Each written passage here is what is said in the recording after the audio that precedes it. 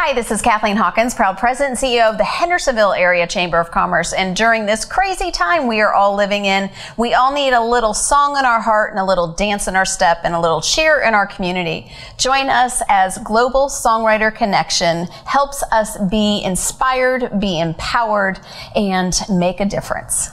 Hi, my name is Sheree Spoltore, and I'm president of Global Songwriter Connection, a company located right here in Sumner County. And every day, my job is helping people in the Nashville music industry to find publishing deals and label deals.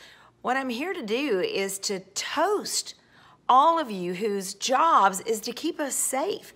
Um, our first responders out there, our police, firemen, hospital, 911.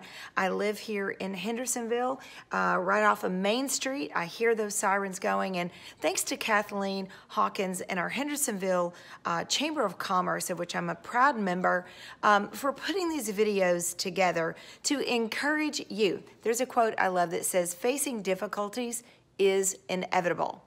Learning from them is optional. Small business owners, what are we learning? I'm a small business myself.